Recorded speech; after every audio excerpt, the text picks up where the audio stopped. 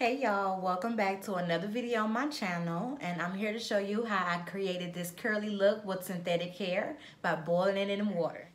Tune in.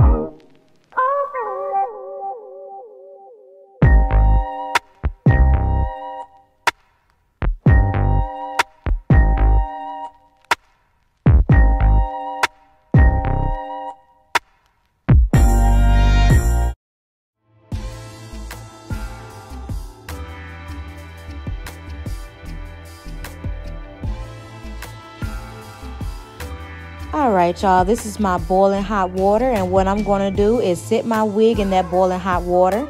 Now, make sure you guys stand clear from the water because this is scalding hot water and it can be dangerous. Now, you're just to find some clamps or either a wooden stick to stick down your wig in the water as much as you can. What it do is make sure the whole wig is hot and have water all over it while it's boiling. So now that we're going to keep poking at it and make sure the water is touching every inch of the wig. Now we're going to lift the wig out and we're going to shake some of the water off. Make sure you have a towel next to your pot. Lay the wig right there on top of your towel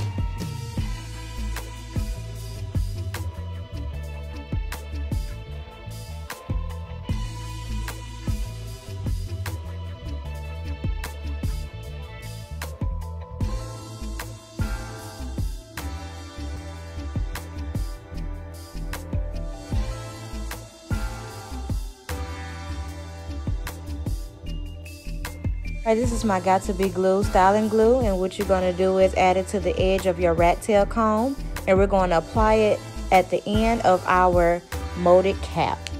And we're going to do it from the middle all the way down to the side. And we're going to do the other side the same exact way. And then we're going to make sure that we do a second coat to make sure it's enough on there and it stays glued and stays stick down. Alright, so now that we got our styling glue on there, we're just going to take this blow dryer and we're just going to dry it enough to make it give it that sticky feeling. Don't dry it too much because it'll become very dry and then you're going to have to add some more.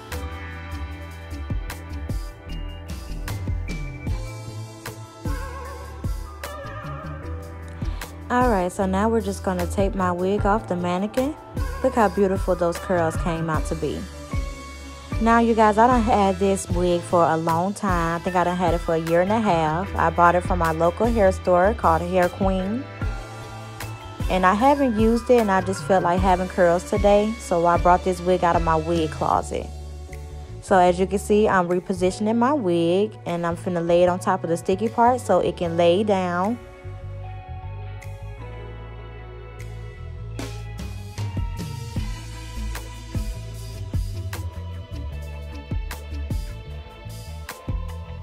Alright, so now we're just going to use the blow dryer. And what we're doing is blow drying our lace on top of that styling glue so it can stay tacked down. And also, as you can see, I only blow dry one side of my head because I feel like that part is the most important part that you have to blow dry. Now the other side, you can choose if you want to blow dry but usually I just do one side when I boil my wigs. Because when boiling your wigs, I realize it tightens up your lace and also the whole wig itself. So the other side is not going to move. So I just glue down that one side good enough so it wouldn't move at all. Alright, so I'm still repositioning my wig to give it a better fit. And what I'm doing is using my wide tooth comb as well to style my curls the way I would like.